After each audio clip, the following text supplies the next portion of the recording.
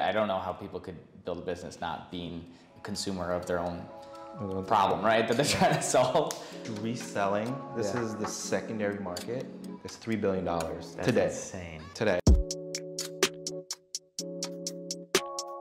Let's jump back on kind of like your zero to one entrepreneurial story because I think we're, we're talking about like the orbit and kind of like this entrepreneurial spirit, and I feel like you encompass that in like different stages of of your life. Like always kind of had this like pioneering spirit and the things you've done. But yeah, man, let's let's hear your zero to zero to one, like zero to like first dollar that you made as an entrepreneur.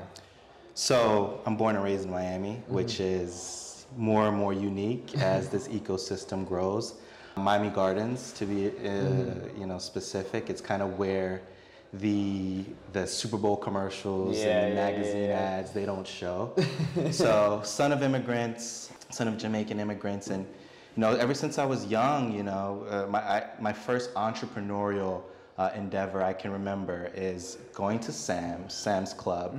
Used to buy candy. Yeah. You know, big and, and this is fairly common. Big candy packs. I remember Yeah, yeah. Airheads. And used to bring them to school, elementary and middle school, and sell them for 25 cents a piece Nice. and made about you know usually make about 60 65 dollars for the box Really? yeah yeah yeah but these were big boxes that's why we were going to sam's club Yeah, yeah, and then in turn we would turn those dollars i would pool it with a friend of mine yeah. into sneakers right into sneakers Wow. into back then sneaker reselling wasn't as popular as, as it is Yeah. now Um, it was just to actually wear the shoes be the first person in the school to wear the Uh-huh. Be shoes fresh. so I- if I remember back, that's probably my first endeavor. I mean, Airheads. We used to have sour straws, hot Mm. Cheetos, those kind of things, and you know, sell them right out of your backpack. I was gonna say, yeah. Were you like by the lockers, like? yeah, me no, sell them out of your backpack. I think the statute of limitations is kind of passed on that already. but that was my first endeavor into entrepreneurship and kind of lead me where I am now. So I, I levied that into in high school. I went to high school down here, Hialeah, Miami Lakes, Mm-hmm. uh, a local high school. Didn't do any of that there. Just working, you know, minimum wage, part time, yeah. and then ending up in FIU. Okay. So local college, one of the biggest colleges in the U.S. And in FIU, I studied finance. So Mm-hmm. finance and communications. I originally wanted to do sports talk, right? Sports journalism, Got it. Got it. sports writing. Did you grow up like an athlete? Like you were into the sneakers and everything. So you were. What was your sport? Yeah, so I played basketball in high Got it, school. okay. Yeah, basketball, baseball, football. You know, I loved all those sports, and Uh-huh. I played basketball though. Did soccer, did bowling. In high school, good question. Mm-hmm. But then I went to FIU, studied sports writing, Mm-hmm. okay, and journalism. Quickly learned that there's very, very little money to be made in that industry. Yeah. And it was kind of a time where Twitter was coming out as well, which Uh-huh. has, you know, bastardized, you know, the news and Yeah, sports yeah, writing yeah. Mm-hmm. in general. In a good way, I think. I think we're getting our news a lot faster. What What do you mean? Like just because it's anybody can publish anything and it gets out there and gets picked up? Like.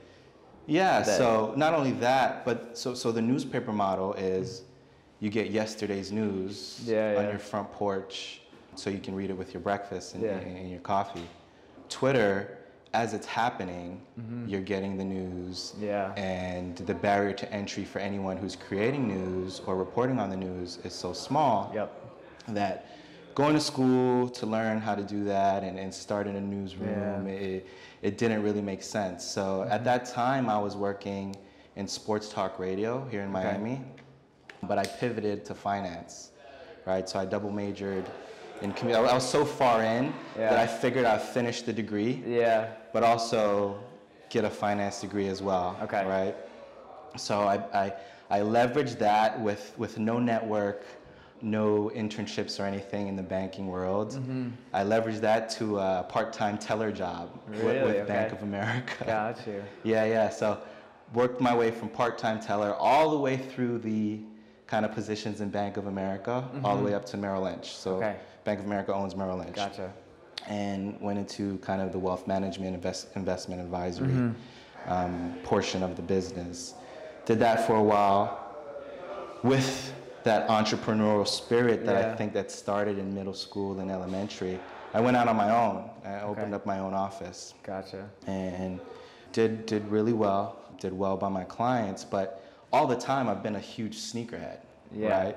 Was it And- like like something like you kept kind of like in the closet, like hidden? You know what I mean? Like with your clients, I feel like when you're in wealth management and Yeah. all that, it's like very, I don't know, sometimes very stuffy, right? Like Yeah. the, the button up life and, and you're talking big numbers and all this stuff, but then like Mm-hmm. sneakers are so like like culture and cool and like it's Yeah. totally different. That's a good question. By the time I got into that, Yeah. so so there's a whole thing with sneakers. Sneakers and, and my line of demarcation Uh-huh. was really the Galaxy foam. So this was like in 2000, I want to say 9, 2010. Mm-hmm. And, and this is a great jumping off point. This is where I started thinking of the idea of Loan My Sole. Okay. That far back, where I think sneakers jumped a they, they jumped the shark where the access to them became so much different than it used to be. It used. Got to it. be if you went to the store early enough or if you had some connections, Mm-hmm. Yeah. Mm-hmm. um, you'd be able to get your pair. Like if you had some connections at the store. Yeah. Right. Yeah. With that release, it became something different where you had to go online and Mm-hmm. be online at a certain time and check out at a certain time. Yeah. So it became different. So to your question, by the time I got into wealth management and banking, I Mm-hmm. kind of had I had my collection, Yeah. but I wasn't really it wasn't really top of mind for me anymore. I, I kind of transitioned into another life. Gotcha, you, yeah. You know, wingtips, Oxford. Yeah, yeah, I know, I know. That's why I say you're wearing some fresh purple Nikes right now, and I'm like, I can't picture you like all buttoned up. you wearing know? a suit every single day. Um, so I, I was always the youngest person Uh-huh. in, in the office and, on the team, but I didn't really let that personality and those sneakers show Mm-hmm. uh, besides the weekend. And I wasn't really buying shoes that much just because I felt that I had passed that phase and they were so hard to get, right? We had, Mm. Yeah. You know, platforms like StockX and Go kind of blew up. kind of rise yeah. up. Yeah. So, as I'm doing that and having my own office, um, this idea that came up, you know, 10 years Mm-hmm. ago in my head, and I actually registered the domain back Yeah. then, I started thinking that, wow, everything has moved towards this, right? So, sneakers have become so popular. Mm-hmm. Yeah. They become mainstream. Yeah. They become an alternative asset where individuals who are where I was Mm-hmm. in high school and in college, now they're using their kicks to make money for them, Yeah, right? They're not yeah. working to get the kicks. Yeah, yeah. They're using the kicks to As make money asset, for them yeah. as an as, as an asset. That's crazy. Not only that, That's but crazy. vintage clothing, secondhand clothing, Yeah. the kind of the stigma towards that has dissipated so much Mm-hmm. Yeah. In, in the recent years. It's become cool. Vintage Yeah. has become cool. and Definitely. obviously, the circular economy with things like dresses and Yeah, purses yeah, and things like that sure. has become popular. So everything was moving into this direction. I was thinking, wow, no one has done this yet. Mm-hmm. No one has really offered these items in uh, in a way that is being offered with other things like the dresses and the yeah, purses. yeah, like rent the runway and stuff like that. So I was like thinking, I've had this idea for so long. Nothing like it exists. It's everything is Mm-hmm. Moving towards this direction. What better time than now? Like I'm at a point in my life, and and the technology is so accessible Mm-hmm. now that you know let's let's try this. Let, let's give this a shot. I know it can work. Yeah. Let's just prove that point because. I remember when I first thought of it, I went to a developer to, to try to develop it, and he wanted to charge me five thousand dollars Mm-hmm. to develop it. At that point, working minimum wage Yeah. and not knowing anything Wow, about that's tech, crazy, I was like, okay, so that's the end of that idea. Yeah, yeah. Put that away. Uh-huh. So now, with you know a little bit more ability to kind of fund it myself and a little bit more knowledge and access to the tech Mm-hmm. that would be needed to build it, I figured let, let's try it. yeah. So that's kind of my truncated uh, journey to where I am now. Yeah, I love it. That's a great Yeah. story, man. Entrepreneurial throughout, always like, always flipping. you know, started flipping candy and now Yeah, flipping candy. And then, so okay, a couple of questions. Like I want to Yeah. understand because I'm I'm not a sneakerhead. I'm rocking Nike. Look at these disgusting You beat know, up no, Nikes. those are everyday joints. they Those were are every day. They yeah. were fresh. They were a birthday present. You know, I, I would say I'm a shoes guy. Like I, Uh-huh. I like shoes, Hmm. but I really never got into sneaker life. I think like it passed me. You know what I mean? Like I had Hmm. a couple friends that were into it. Most of my friends weren't. Like I grew up in the Midwest. Like you know, wearing boots. you know, like you like, like northern Chicago. Okay. So like okay. northern Chicago, southern Wisconsin. You know, it's like if you take a right you know, then it's city, city, city until you're downtown. If you take a left, it's cornfield as far as the eye can see. So it's like we never, you know, never thought about that. We had, you know, it was like yeah, boots, Carhartts, and stuff like that. But but I love sneakers, and I like appreciate them when I see good ones like like what you got on here. But tell me like how you see it as an asset class because I get the flipping of it, right? Like I, I get that, and you get these rare drops, and there's only so many made. Like it's very similar to NFTs. It's kind of like a similar type of, of mindset, the scarce thing. But when you look at it as an asset class, like I guess I don't, and I don't know how Rent the Runway works, but how do you think about it? Like, do you do you see people on your platform that have like 100 shoes and they're really like leasing them all as an asset class like that, or is it more of like a, a side way to kind of make money Right. uh, off something that like you're gonna buy anyway, Yeah. but you're like you might as well get it paid off, almost like a like a Airbnb vacation home. You know what I mean? Yes. So, so what's happening or what's happened is when I say asset class, I say that begrudgingly just because that is what they have become Yeah. as they've become more popular. Mm-hmm. And by asset class, I mean people are using them to buy, they're buying them mm-hmm. basically just to be able to sell them Yeah. in the future to someone who is willing to buy at an elevated price. Yeah. So that has already happened. Mm-hmm. We don't have to really prove the point that sneakers have become Yeah. a way for people to make money. That has happened. But how it's happened now with the big platforms, you know, coming up within the past five or six years, someone will buy a shoe, have Mm-hmm. access to a shoe from the manufacturer, be it through online or Yeah. connections at a store Yeah. they'll buy it at retail, Mm-hmm. right? If they're lucky. And retail, let's say an average retail is 200 bucks for a pair of shoes. Used to be 130 when I was into it, but Mm-hmm. Yeah. 200 bucks now Yeah. for, for an average pair. Immediately, as that shoe comes out, the price that you that you have to pay to get that shoe online is 300% over that. I'm talking immediately. That's crazy. And here's why. And there was a Nike VP who actually, it was revealed in some internal documents that last year, mm-hmm. only 3% of people who wanted to buy the shoe, who were on the Nike sneakers app to buy the shoe, only 3% was able to get access to spend their own money to get the shoe. So you have a combination of popularity, yeah. scarcity, Uh huh. and just the ability and, and enough people who are willing to buy at those elevated prices that they are have become that asset class, right? Yeah.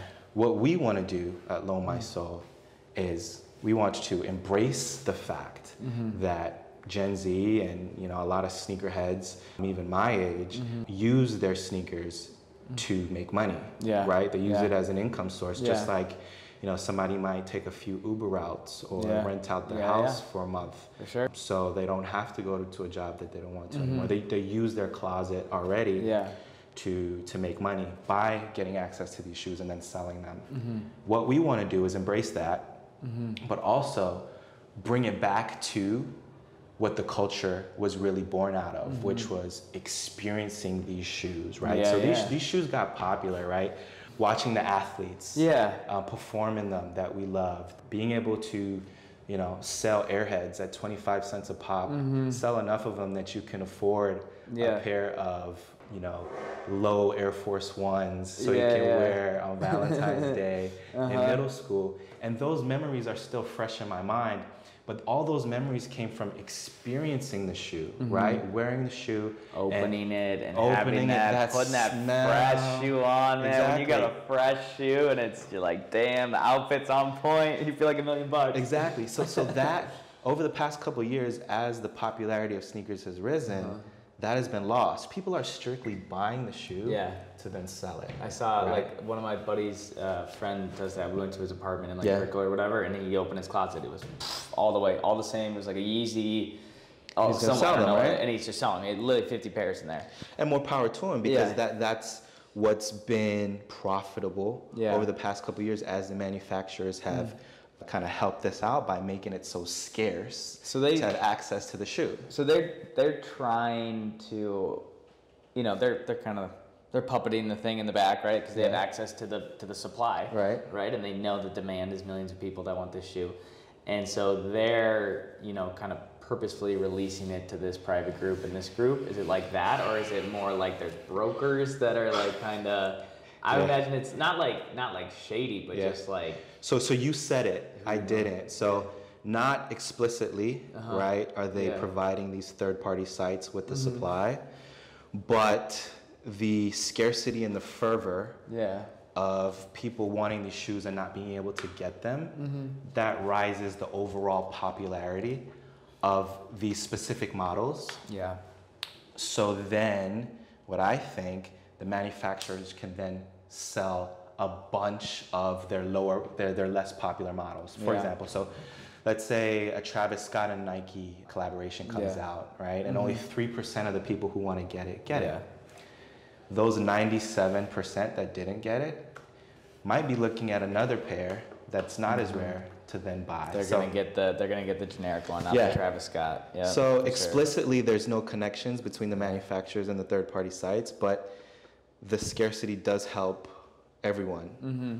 when we're talking about attention and focus and desire Yeah. for these models. So what we want to do is yes, embrace that monetization piece and Mm-hmm. the world we're in now, but also bring it back to experience and the culture that popularized the culture Mm-hmm. Yeah. having access to these items as well Yeah. without being roped off and priced out Yeah. like they currently have like i have been Yeah. like yeah, i have yeah. been right i'm part of the 97% that gets that It's true. that, and that you know strikes it's getting out jacked up, and it's like if you can, I, I, I see a lot of similarities to kind of like I've been looking at a because we're in an Airbnb now, right? I'm Yeah. like, God damn, they're printing money. You know what I mean? Like every week they are printing money on this place, Yeah. and and obviously has maintenance and things like that. But it's similar where it's like you you have an asset and you lend it to someone else who wants it for that week. So with Loan My Sole, how long are the the terms that you can rent it for? Yeah, so right now we have four day rentals. Okay. That was our first kind of duration. Mm-hmm. We are going to be expanding that soon mm-hmm. to, to eight day rentals, but right now it's just four day rentals. We found that's a happy medium as far as price point is concerned with the Yeah. models that we have, and as far as introducing this ability to sneakerheads across the country. Yeah. I mean, here in Miami and across the country, because when we go to, so we sourced a lot of our first users mm-hmm. at the sneaker conventions. Yeah. So these sense, sneaker yeah. conventions, this is so popular. These sneaker conventions are happening weekly. There's one. There was one last Saturday. There's one tomorrow Really? here in Miami. Wow. So when you go to these sneaker conventions, it's table upon table upon table of people who have bought these shoes, maybe for retail, maybe a little bit more, Mm-hmm. Yeah. and they're looking to flip them to someone else Yeah. who wasn't able to get that access that they were able to get. Yeah. Yeah. So what we did is go to these sneaker conventions and speak to all of these individuals and tell them there's another way to do this. Mm-hmm. You can still make money from your item, but you can keep it yourself. it, yeah. You can wear it yourself. You can even sell it later on if Yeah, you yeah. want to. So that is where we kind of sourced our first our first users, and that's where we're sourcing users even Mm-hmm. to this day. Because people that are already looking at them as an asset. People Right. are looking as, as an asset. And so you're saying, hey, you can have both. You can you can have your cake and eat it too. You can literally just like an Airbnb, get the mortgage paid off, and then Yeah. sell it. yeah, You know, so you're, kind of double dipping, which is amazing. Or you swear it, keep it. You know, yeah, keep it. and that's nuts. So. I, I think you know this this show's called building community and there's like a huge aspect of you know kind of what what we're trying to do with the shrimp society and, and Uh-huh. everything is is this kind of community led growth and Yeah. the sneakerhead community is massive community and it's it's like they got sub communities it's it's big right it, Yeah. it's global it's it's a I don't know how big the market cap is on on sneakers but I'm guessing it's in the billions So right? just reselling, this Yeah. is the secondary market. It's three billion dollars That's today. insane Today, and it's That's insane. estimated to be thirty billion dollars in the near future. But just we're not even talking about the manufacturers. Yeah. Just the kids. that is insane buying and selling oh shoes my from God. each other is three billion. Three billion dollars. So you have a three billion dollar community Yeah. all over the world, running nonstop, online, in person, at uh, uh, conventions, all this different stuff. Like, how have you been able to leverage community in in your business and and growing it? It's like uh, in the early stages, having those early adopters, that community is so important. So yeah, how's Yeah. that, how's that been for you? Yeah, so that is paramount even just when you first start as a sneakerhead. Back then, there was a few forums that you visited Yeah. to get early pictures of a shoe that might come out in six months, Mm-hmm. or to discuss the sizing variances on different models.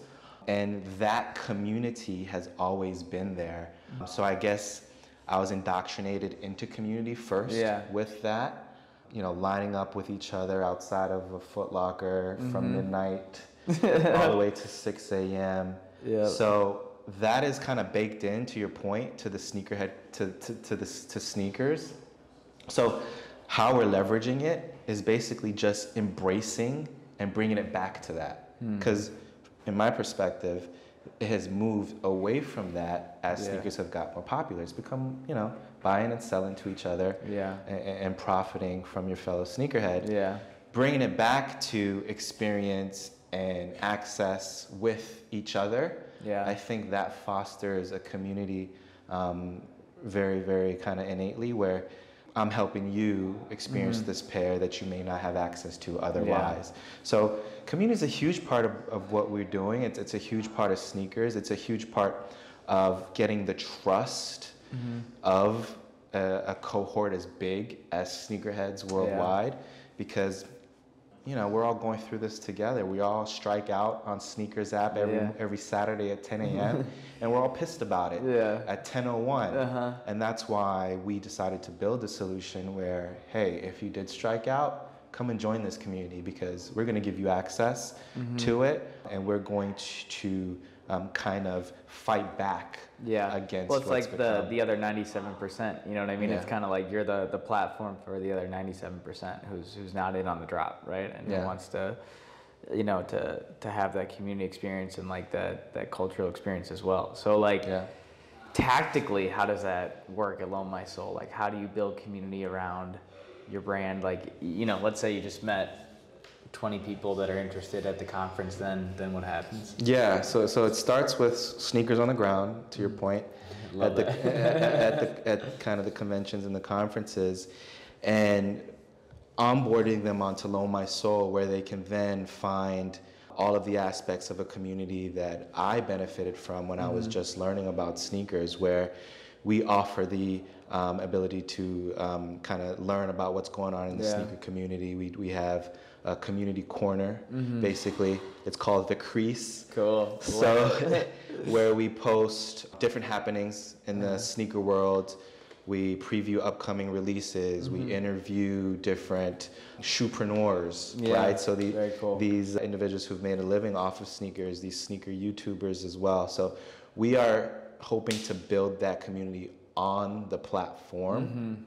and just just displaying that trust, right? Yeah. That trust that when you do get a sneaker from your fellow community member, yeah it's real, right? It's what you Yeah. expected.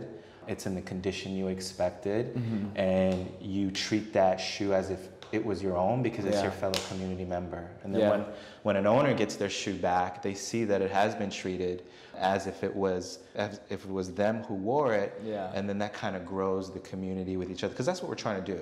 yeah We're trying to foster repeat transactions between our community just to, in essence, build it, right? So you Yeah. have trust, maybe a specific member on the site has that's your size. Mm-hmm. yeah And they have specific models that you uh, are very interested Yeah, in. yeah. You start renting from them, and then you start continually renting from them because you're like, okay, You build a this per- relationship yeah, with you them. build a relationship, absolutely. So exactly yeah, community just like with, with what we're doing at the Shrimp Society, it's so huge in building that trust and that camaraderie with, with each and every member. Yeah, one hundred percent. And I think it's such an X factor in uh, in in growing your business too, because you're genuinely excited about a community that you're involved in, right? If you're if you're active and you're you're posting on the crease, I love that. Yeah. You're you're excited to tell people about it, Yeah. you know. And when you have good experiences, you tell people about it, and and you share not only in in kind of the joy of, with the community members, but mm-hmm. then it, it trickles outside of that, right? Yeah. And I think that's such a, I think it's the new kind of model of referrals and organic growth, right? Because people talk about that or have been talking about that for forever, right? Organic growth, organic growth. Well, what does that really mean? It means word of mouth. It means people are so excited about what's going on here that they're telling people and people are coming in, right? And mm. that's that's the best case scenario. And in a community, it's that should be the, the main goal, right? It should all be kind of community led growth or organic growth like that. And uh, but I'm curious, well, tactically, one thing. So do you have someone that you pay to run the like the news and things like that? You were talking about like that, No. that's all you? No, so that is all me and my co-founder. But Nice. I am, like I said, I- I'm a, huge sneakerhead, man. Yeah. I- So you're you're already I've been on. I'm, I'm, I'm so deep in it that I'm on all the blogs. I know all the releases coming out, and I know what interests me and community members because I'm talking to them all Mm-hmm. the time about upcoming releases and, and, and things that are happening in the industry that tho- those specific those things you're speaking of like the articles and stuff those are all written by me right now Mm, right nice, those are yeah. written by me the kind of even at the conventions i'm at, I'm at the table Yeah. speaking to sure. all the sneakerheads uh, why Loan My Sole is such a better solution than what they're doing right now. Mm-hmm. I'm sure at some point we definitely will bring on team members to help with that. People who are as passionate as I am. Mm-hmm. Yeah. So far as me, man, similar to what you're doing, I'm in the same boat. I'm in the same boat. I'm the one sleeping at the hack house. You know, Yeah, I'm the yeah. one getting the water and the food, and I'm the one writing the posts and all that stuff. And a lot of people, a lot of people, most people are like, "Oh, you you should you should find someone to do that. You should find someone to, especially like the writing and the content, right? Because it takes a lot of time. But I think there's a, like a uniformity that you need and like a similar message and tone that just keeps coming, right? And it comes across all the platforms, and it's like because at the end of the day, if you're building a brand, right, and you're building this community, it, it, it has to be cohesive, right? And right now, it's it's almost too challenging to bring someone else up to speed or document what exactly like that brand energy is that's being translated or what that tone is or what that is because it's also in flux right these are growing businesses you know like so things are changing as well and it's like it's hard to you know it almost takes too much time where it's just like okay it's just in your head right it's just what is, is coming out but i think that's so interesting I get that all the time from people who are like oh, you should just hire someone to do this and hire someone to do that. I'm like, yeah, but this is a really important piece. It doesn't seem important, but Yeah. the voice and the tone and the rhetoric and everything coming out needs to kind of like Yeah. for for a while, I think, and uh, it's probably one of the last things that will be like handed off because I think it's really important. But I mean, that's also challenging. So it's you and your co-founder right now, right? Mm-hmm. And now with this with this new A16Z, so is it is it funding as well? Yeah, yeah. So it, it it is funded. They are providing us guidance and their expertise, Nice. um, obviously. But yeah, it is a, it's a funded accelerator. So with that, with those resources, we'll be able to improve the platform so much, right? Yeah. Obviously, um, onboard a lot more members because we're waitlisted right now Okay. right? But we are looking forward to onboarding so many more members and onboarding so much more items onto the site. But yeah, it, you know, I, I think to your point with the tone, that's something that I saw as well, where kind of the messaging and the mm-hmm. tone and the the importance of certain topics. Yeah. That voice is it needs to be consistent, mm-hmm. and you know, finding someone. Hopefully, we will. And finding mm-hmm. you know amazing people who are just as passionate Yeah. about about it as we are Mm-hmm. and just you know instead of it just being a rote article about okay this is a current event Exactly. this is a current event what's happening no this is the current event this is what's so crazy about it Yeah. this is what it means about Yeah, you know this is what it you know means about things going forward that's a whole different thing It is. It's like you gotta be. You gotta that person that's gonna take over kind of communication or content or that. It's like they have to be, in my opinion, they have to be a practitioner as well. Yeah. Right. Because you're a practitioner. I'm a practitioner. We're we're we're doing the thing that we're building as well. Yeah. Right. Which is like the ultimate. I I don't know how people could build a business not being a consumer of their own problem, right? That they're trying to solve. And it's like that person, for us, like that person needs to know what's going on in Hack House and what this feels like because Yeah. that's going to be translated into the vibe and the story we want to tell, right? And then I've tried different copywriters and, and stuff like that or like content writers and they just give you like the most generic blog post and you're like, where's the soul? Where's the style? Where's the, you know, Absolutely. the shrimpiness? And for you, like, where's the, yeah, where's the swag? Where, Yeah. where- where's the passion? No, uh-huh. I agree. I agree. So, no, absolutely. And, and as we build out our community, we will find, Exactly. we will find those individuals, and they will find us. Yeah. And that's what's so great about what's happening now with this, you know, recent success is that we're hoping individuals that are just as passionate about it Mhm. as us, who come from a place of, yeah, I like to wear my shoes too, Yeah. will find us and will Yeah. reach out and, you know, provide that growing camaraderie that we're looking to build. Exactly. It's like you're looking for the crossover, right? The person who loves sneakers and loves writing, Yeah. right? Or the person who loves startups and loves planning events. And it's Yeah. like you can have, because community allows you to scale, right? You can have as many people in the community, and as long as it's it's running well and you, and you manage it well, and then like like you're saying, those people rise up and say, Yeah. "I want to get involved." I, we just came from an event, like three people are like, "I want to get involved. What can I do?" You're you're always acting too, and it's like matching that the kind of need with the skill set, and that's really how I think you build so much like deep, I guess like deep connection with the organization too. And that's Yeah. the cool thing about community. It's like they're not employees, but you know, uh, some will become employees, some will be you know consultants or whatever it is. And I think that's the power to it. It comes from within. It's like building, building community. I guess there we go. Maybe that's Yeah. the new intro for the podcast. yeah no i love it i love it i mean and just just to for a plug for shrimp society so so so such a good great community to be a part of i know when you first reached out to me mm-hmm. i was searching right? So mm-hmm. as someone born and raised here in miami not tapped into the tech community mm-hmm. just learning who Andreessen Horowitz or Sequoia, who, you know, what that even is Yeah.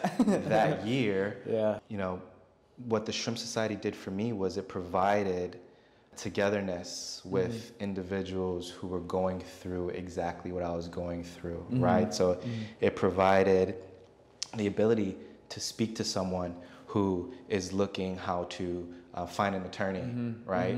To draft documents, looking to hire a dev, looking to figure out a venue to hold an event. So the Shrimp Society is, it was so instrumental in giving me that confidence that what I'm feeling and what I'm going through, my fellow founders are going Yeah, through yeah. that as well Yeah. and we can help each other. And you know, I think at the basis of community, that's kind of what it's all about.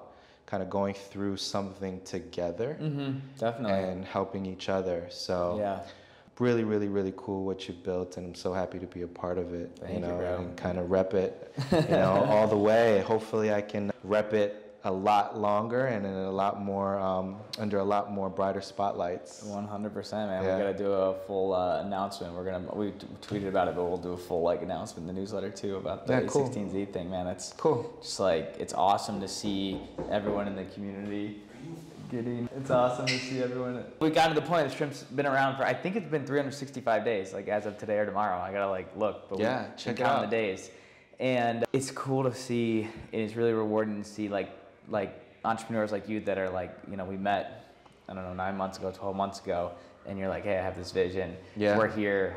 We're struggling. We're you know we're doing this. Yeah. All this, Yeah. and then you know, 12 months later, nine months later, boom, you know, the the top VC fund in the world is is coming and investing and stuff like that. And it's like Yeah. it's incredible to see one how like realistically how long things take and then also how kind of how much grit you need to have to actually like yeah. do the thing. You know what I mean? To like actually So build a startup. We definitely see this as a starting line, Yeah. not, not a finish line. Uh-huh. But to your point, from when we met and when you told me about what you're doing with the Shrimp Mm-hmm. Society till now, there's been so many lows, right? Yeah. So many lows. And it's about the grit, the persistence to not stop, Mm-hmm. Yeah. Mm-hmm. to just really believe in it so much, to just keep on going even today. I'm sure there'll be, you know, lows coming up Yeah, this yeah. week Yeah. but having the community, having the shrimp society to lean on sometimes Mm-hmm. when you are having those issues. I know we used to do kind of a temperature check Yeah, yeah, yeah. um, every month. That helps. Yeah. That helps, and that helps push founders like myself who um, may feel like they're on an island, know that they're not, Yeah. and push through to kind of checkpoints yeah. like now, right? Or starting lines. is- Is how I Mm-hmm. Exactly. want to look at it. So. Exactly, I love it. So something we ask everybody on the show is what is your biggest goal for the next the next quarter? Like when we look back, we check in at the end of the second quarter. Yeah, second quarter. So you got, you know, about 6 months here. What's like your 6 month So goal for for Loan My Sole. for Loan My Sole? We're gonna check back in. So we want to obviously succeed through this kind of accelerator program and really soak up everything that we can and really Mhm. leverage that network and that knowledge into raising a round, a pre-seed Yeah. round. And then obviously we want to hit our KPIs as far as, you know, transactions and Mhm. members on the site and kind of come back here and be able to tell that story of those six months to the, to the Shrimp Society yeah. and, and, kind of see what, what, uh, what the next goal is for the, for the six months after that. But yeah, right now it's just putting our head down. This is um, just the beginning now. It means there's a lot more work to do. Mm-hmm. And just growing, growing the community and raising that round is what's top of mind. I love me. it. Yeah. I love it, man. Well, appreciate you coming on the show. Where can people find you? Twitter, Instagram. What's your? Where can people Yeah. find you? Loan my sole information. Drop all the plugs. Find me in the Shrimp Society Discord. Yeah, there it is. Rocking my shrimp. Other than that, you can find me on Twitter It's probably the best way. Underscore Brandon Chance. Okay. C H A N C E. And just reach out. Check out Loan My Sole at Loan My Sole. That's S O L E on Twitter, Instagram, TikTok. And uh, reach out if you have any questions or you have your sneakerhead And and your you have sneaker. that You're trying to get those sneakers. you, you- you want some access uh, to some dope kicks, reach Yeah. out to me and we can, we can chat. I love it, bro. Thank you so much for coming on. Hey, man, this was it. awesome. Thank yeah, you. big time, big time.